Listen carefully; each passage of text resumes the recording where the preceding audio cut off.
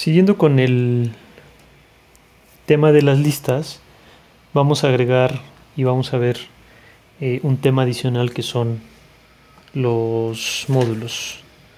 Y los módulos son pues una forma de ir eh, como agrupando el comportamiento en, piezas que son eh, en el tema de electrónica por ejemplo sabemos que si tuviéramos un componente electrónico y necesitáramos agregar otro comportamiento encima de ese componente, pues lo, que sucede normalmente es que vamos a la tienda y compramos esa pieza adicional y la integramos dentro o, la integramos a la operación de, de, nuestra pieza original y nos da otro comportamiento totalmente distinto. En Python podemos nosotros crear módulos. Vamos a suponer que estamos haciendo un, em, un cálculo de el índice de masa corporal que ya se me olvidó vamos a hacer aquí índice de masa corporal recuerden que vimos la fórmula para la cual requeríamos la estatura y el peso de una persona y después venía un cálculo, ¿de acuerdo? Entonces vamos a hacer aquí el input. ¿Cuál es tu altura en centímetros? Y luego eso lo vamos a guardar en una variable. Y vamos a decir cuál es tu peso.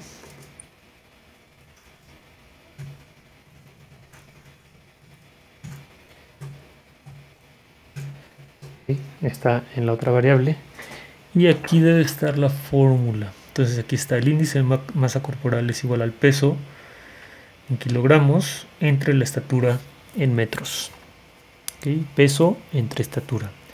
Entonces aunque yo podría hacer aquí una función que hiciera ese cálculo todavía no hemos llegado a las funciones pero aunque yo pudiera decir aquí eh, el índice de masa corporal es igual al peso entre la altura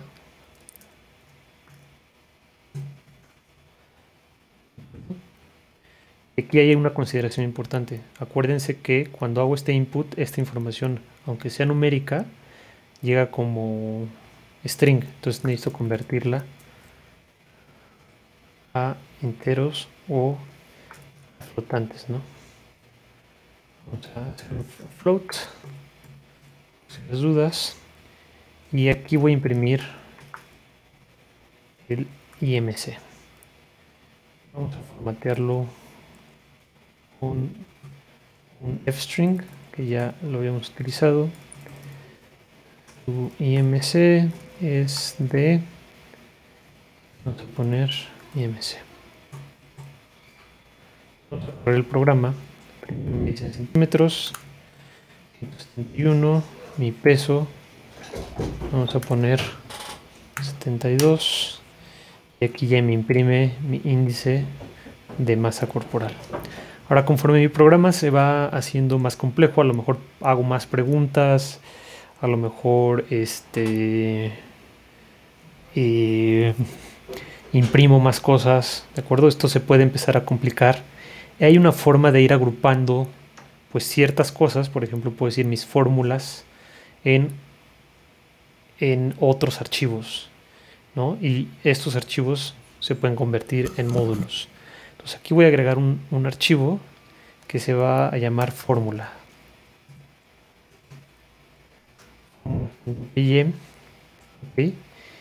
Y puedo aquí en este otro archivo pues ir poniendo mis fórmulas para tenerlas bien ordenadas y separadas de lo que es simplemente la recolección de datos y la impresión de resultados. Entonces aquí podría decir, ok, mi fórmula es esta, pero esta en realidad es una función. Y, las funciones ya veremos un poquito más a detalle cómo es que eh, van a irse o nos van a permitir ordenar y separar eh, nuestro código de manera pues adecuada eh, y nos van a facilitar el uso de, nuestro código, pero básicamente una función necesito definir una función que es índice masa es un nombre que le estoy dando a mi función. Y luego le digo qué valores quiero que reciba esa función de acuerdo aquí estoy concatenando porque acuérdense que necesitamos definir bloques. Este bloque que estoy definiendo aquí pues pertenece al de esta función entonces esta es la definición de una función básica y esa función puede recibir valores entonces yo digo para calcular mi índice de masa corporal necesito dos valores, que es peso y altura. Y una vez que tenga esos dos valores, puedo regresar, entonces por eso voy a usar aquí return, una operación. Podría tener otras cosas aquí adentro, otras, eh, otras líneas de mi programa que hicieran más cosas con esos valores que recibieron, pero vamos a suponer que inicialmente no tengo otras operaciones, simplemente quiero regresar la división de peso entre altura. Digo, una, una operación intermedia que podrías usar es decir, el resultado que quiero regresar es igual a peso entre altura y después aquí regreso el valor de ese resultado. Solo por dar un ejemplo de cómo el bloque puede tener más de una sola instrucción. Entonces, esta función podemos decir que está definida dentro de un módulo que está en mi proyecto. Y ahora, ¿qué pasa aquí en main? Si yo quisiera utilizar mi función de índice de masa corporal, tendría que importar esa función. Entonces, puedo decir import fórmulas. Es una forma de hacerlo. Y aquí podría decir, ok, IMC es igual a fórmulas es el nombre del módulo, punto índice de masa corporal y le paso el peso y la altura. Esto es muy parecido a lo que habíamos hecho en un inicio, pero ya separé lo que es el código que a lo mejor está conversando con el usuario del código que tiene exclusivamente mis fórmulas. ¿De acuerdo? Entonces es una forma de separar la funcionalidad de manera que haga sentido modularizarla o eh, organizarla para después utilizarla dentro de mis programas.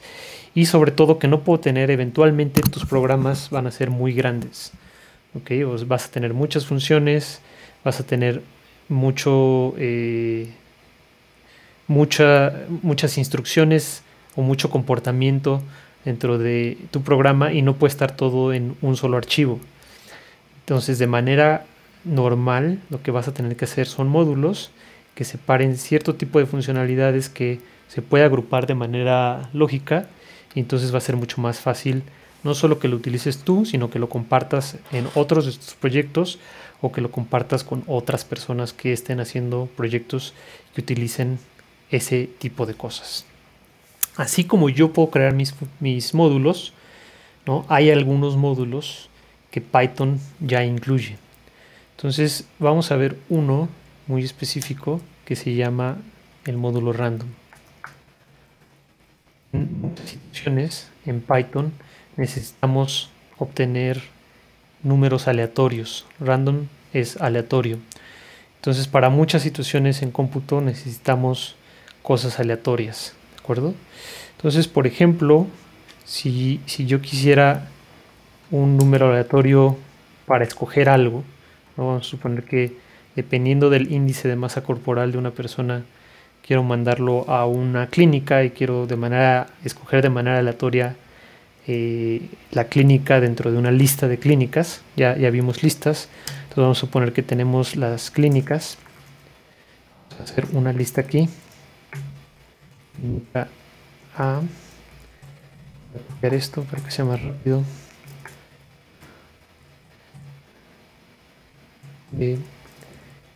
sí.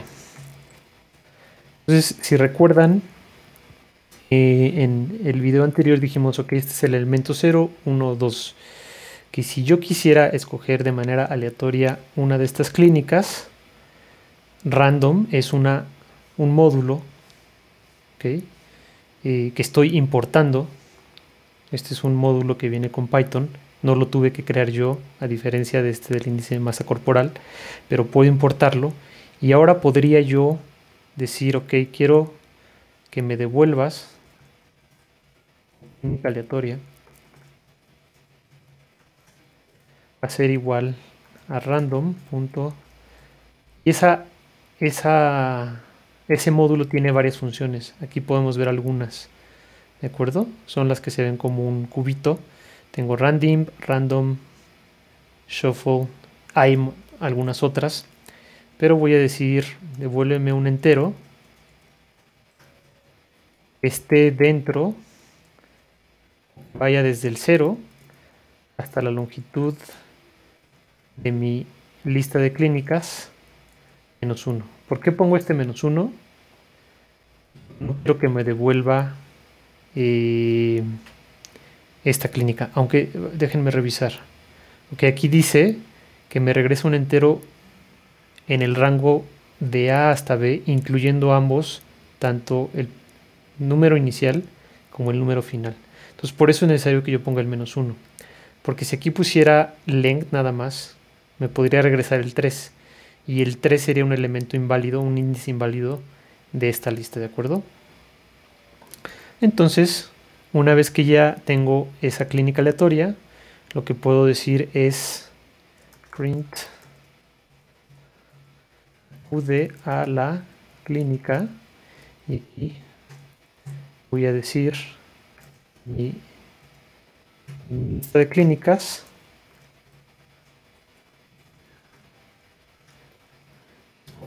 la aleatoria. Voy a quitar la parte de... Bueno, vamos a hacerlo así primero. ¿No? Me va a preguntar otra vez.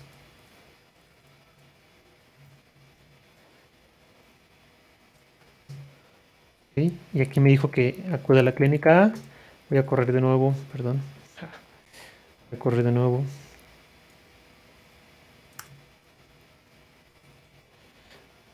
Clínica A me dio dos veces el mismo número. Vamos a correrlo de nuevo.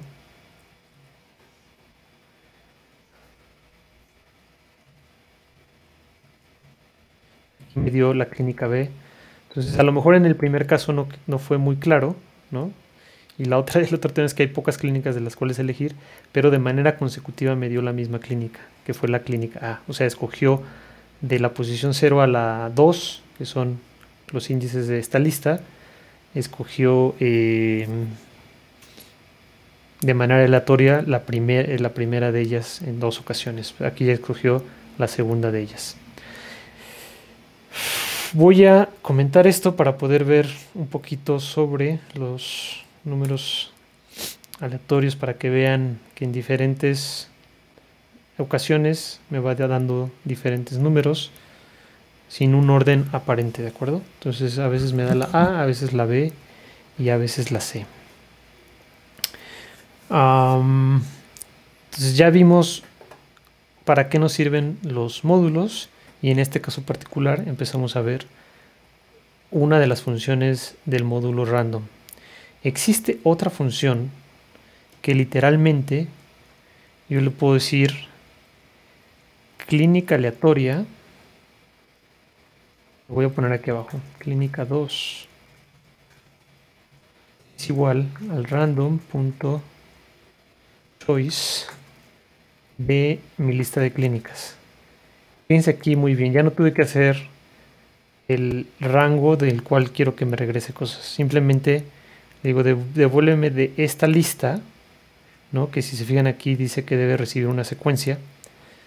Una lista es una secuencia revuélveme aleatoriamente una de ellas. Y aquí podría imprimir.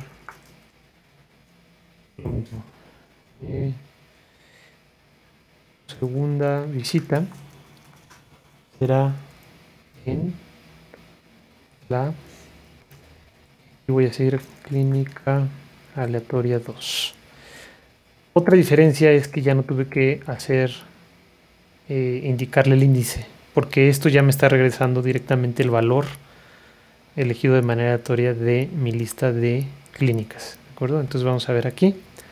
Aquí me tocó la C y la A. Aquí me tocó la B y la C. aquí me tocó la A y la B. Entonces esta forma en general es mucho más sencilla porque no tengo que especificar desde dónde hasta dónde. Espero eh, les haya gustado este video. Conforme vayamos avanzando en, el uso de Python iremos utilizando más módulos que Python proporciona de manera pues default y luego veremos cómo integrar algunos módulos que Python no eh, incluye de manera regular pero que alguien más hizo pero que nosotros podemos utilizar de nuestros proyectos para acelerar eh, el tiempo de desarrollo porque pues en realidad yo ya no tuve que ponerme a programar la función random a lo mejor alguien quiere utilizar eh, mi fórmula de índice de masa corporal y en vez de tener que utilizar o hacerla o construirlos ellos mismos, podrían, si yo pusiera esto disponible al público, podrían utilizar mi módulo. Entonces iremos viendo varias cosas. ¿Cuáles son los módulos que podemos utilizar una vez que instalamos Python y cómo utilizar módulos de otras personas y finalmente cómo podemos hacer nuestros propios módulos y compartirlos con otras personas. Espero les haya gustado este video y los espero en el siguiente.